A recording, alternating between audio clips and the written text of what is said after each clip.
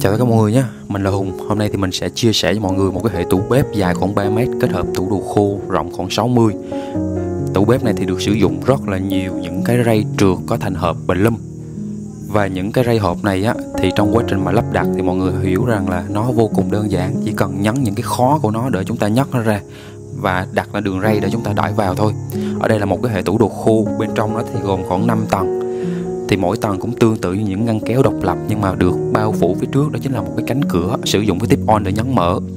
Sát bên chậu rửa thì mình đang bố trí là khoảng 3 ngăn kéo.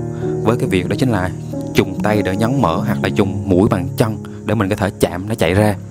Thì để việc này nó diễn ra một cách trơn tru và hiệu quả, thì nó phải có một cái bộ gọi là bộ tiếp on, hay còn gọi là bộ nhấn mở để giúp cho cái dây trượt được chạy ra một cách êm ái nhất thì tủ bếp chỉ có 3 mét mà mọi người thể quan sát được là rất là nhiều những cái ngăn kéo trong cái hệ tủ này. Thì giúp cho cái việc lưu trữ đồ và tăng thêm công năng rất là lớn. Nếu như những ai mà chúng ta làm hệ tủ trên á thì mình nghĩ nó cũng không phải là điều quá cần thiết. Chỉ cần chúng ta tập trung khai thác công năng ở phần tủ dưới một cách hiệu quả tương tự như căn bếp nhỏ này thì mọi người đã có thể là lưu trữ rất là nhiều đồ rồi. Ở căn bếp này á, thì đặc biệt nó chỉ có một cái bếp và một cái chậu rửa và những cái ngăn kéo và nơi lưu trữ đồ khô kết hợp tủ lạnh mà thôi.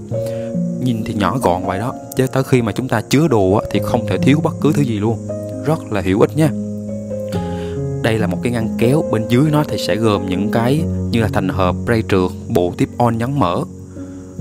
Những cái thành phần này thì nó sẽ đồng bộ lại với nhau để giúp cho ngăn kéo có thể là nhấn để chạy ra một cách mượt mà nhất thì hai bên thành hộp thì đều có những cái logo của Bình Lâm nha mọi người. Bên dưới thì có một cái thanh ngang ở giữa để giúp cho cái việc đãi ra và chạy vào được trơn tru và mượt mà. Lưu ý nè ở dưới phía trước chân á, thì mình có làm âm vào khoảng tầm 4 cm để giúp cho cái mũi bàn chân không bị chạm.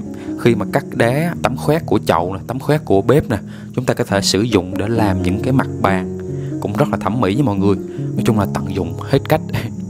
ở đây thì mình sẽ chia sẻ cái quá trình mà trải nghiệm chiếc chậu rửa Clean Up và chiếc vòi KVK tích hợp trong cái video này luôn cho mọi người thấy.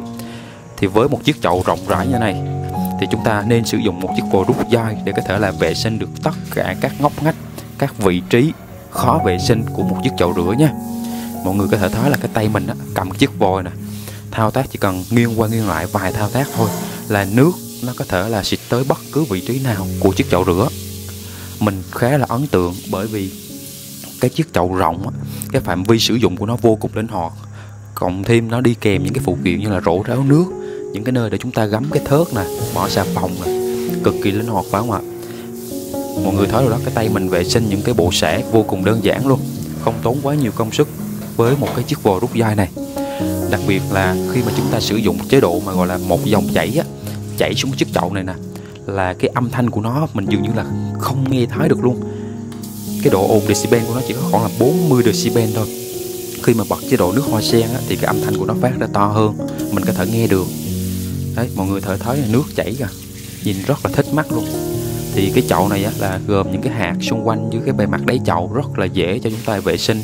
Bất cứ là những cái đồ gì liên quan tới dầu mỡ hay là khó vệ sinh thì trên cái bề mặt chậu này cũng đều sạch trơn tru luôn nhé mọi người mọi người thấy rồi đó mình chuyển hai chế độ nước nè, một cách nhẹ nhàng qua những cái nút gạt ở bên bên trên chiếc vòi. Cảm giác đầu tiên về mình nhìn cái chiếc chậu này đó là cái không gian nó vô cùng rộng rãi. Trên một căn bếp 3 mét thôi, nhưng mà chủ nhà cũng khá là tinh tế, đầu tư hẳn luôn một chiếc chậu kích thước rất là lớn. Cái khoan chậu rửa của chiếc chậu này rộng tới một mét, bên dưới nó thì được bố trí là hai cái ngăn kéo. Đây, mọi người thấy rồi đó cái vòi này là vòi KVK chiếc vòi cổ cao. Mình thỉnh thoảng cũng có những video chia sẻ về chiếc vòi này. Chiếc vòi này thì có hai chế độ. Chế độ gạt nước tiết kiệm và chế độ gạt nước mạnh. Bên dưới đây là bên dưới con chậu rửa nè. Mọi người thấy đó chính là cái khung sắt để nâng đỡ chiếc chậu bộ xẻ và những cái gia cấp nước.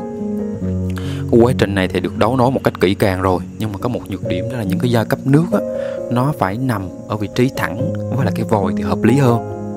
Đây thì nó hơi bị nhược điểm một xí đây là bên dưới con chậu rửa thì nó sẽ gồm hai cái ngăn kéo lớn nè. Hai ngăn kéo này thì dài tới một mét luôn nha mọi người. Cũng là sử dụng phương án là nhấn mở. Đấy, mình tháo ngăn kéo ra để cho mọi người dễ quan sát được nè. Rồi, còn đây là một cái tiếp on nhấn mở, một cái hệ tủ khác. Cái hệ tủ này thì tương tự như là tủ đồ khô, nhưng mà không phải sử dụng những cái ray ray có thành hợp, mà sử dụng những cái ngăn kéo bằng gỗ, những cái thành hợp bằng gỗ.